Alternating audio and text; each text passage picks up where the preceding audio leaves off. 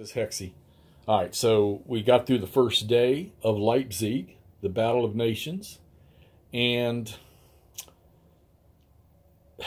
in the southeast, the French are doing their job. They're keeping this force at bay, and, and they've knocked off a few of those units that are sitting over here to the side. Yeah, you can't see them just yet, but let's turn this a little bit. All right, sitting over here to the side, and they they're not faring so well here across the river on their escape route. So we've shifted some guard units here. What one fortunate thing that could pay off for them if it can be held is this little pocket right here near Machern, that roadway across to get troops over. And they've got this cav unit and this infantry unit over here, and they should get another infantry unit over here. If these guys can hold this next turn, they'll get across. And we decided to shift the units from the northeast quadrant up here because there's no coalition forces coming on for five turns that'll come in up here. So we're going to bring these forces down here because look at this massive Prussian and Russian force down here. This is they've got to they've got to do something. They've got to stop this because these guys are starting to make ground over here. Hold that pocket. Let's get this guard unit, the young guard, across the river here, and try to mess with some of this because they need this route open right here at the end of the game, or else they're going to lose an awful lot of points because there's only one way to trace your escape, and it's it's down these two roads right here, and then off the map. So, um, I mean, they could they could trace here and out, I guess, across the river, across the stream, and then uh, this thing here, or the minor river there. But you know, this was their main escape route. So they're okay up there in the southeast. We don't know yet here on the west side of the river, the west side of the Elster River, and I think the key to it's going to be whether they can hold this off here. So through turns one to five, at the end of turns one to five, the demoralization levels were 80 and 100.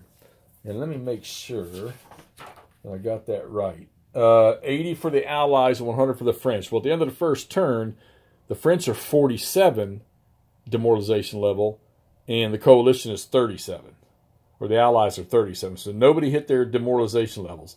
Now, for the next five game turns up to turn 11, it goes 120 for the Allies and 110 for the French.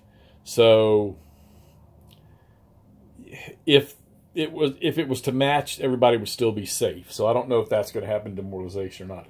But it's hard to get kills. You've got to you've got to get units surrounded and then force a retreat into a zone of control or where they can't go to get them eliminated because you don't start getting eliminated uh, results on the combat chart until you hit four to one and then it's just you got to roll a one to get a de and then there's some exchanges up there well you got to get a lot of units around because if you're behind water if you're in a town hex if you're in rough hex if you're in wood hex you're going to be doubled and or marsh hex you're going to be doubled so it, it's hard you can see here the French had this guy surrounded, and you can tell they got pushed away.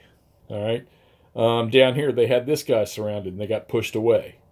They've been successful here, but this guy here got attacked at one to three by a Prussian unit, and the Prussian unit rolled a one and drove him back. Over here, if you're adjacent, you can't exit an enemy zone of control. So if you're adjacent to an enemy, you got to stay there and attack if it's your turn. Same for the uh, non or same for the opposing player. So he's not going to cross the river into the city here because this guy will have a strength of 18. But the French go first, and now that they've moved over here, they'll be able to isolate on this one unit right here and see if they can't drive him out because he'll be doubled, but they'll have what 27 into 18. They'll, at least they'll have a one to one. Now there's no elimination chances at one to one, but you can. You'll get a retreat unless so unless you get a zone control block, you're not going to get eliminated. But if they can get him to retreat, they'll he hasn't he'll have once they move into the attack, he'll have no zone of control, and then they can go to work on this other unit. However, as you can see, they've got more forces, two strong units coming in that left the battlefield here, crossed over here, crossed the bridge, and got on that road and came over. It's taken them all this time to do it. So they started in here around this town. All right, well, so this is Napoleon at War. This is Leipzig. We're finished the first day. And right now the French are holding their own. They've got to clear this pocket out here to the west so they can have that escape route. Or like I say, everybody be cut off at the end of the game, and that'll be just a total wipeout. So, but let's get. I want to keep this one. I I could have played this in two nights easily or even one sitting because it's just simple move combat move combat and that's how it works so all right so this actually napoleon at war man when was this thing? 1975 so let's get some more of this done. Might wait till the end to shoot or maybe at the second end of the second day i'll shoot a video again. Now let's get this posted so y'all can see what's happening in leipzig. Talk to you soon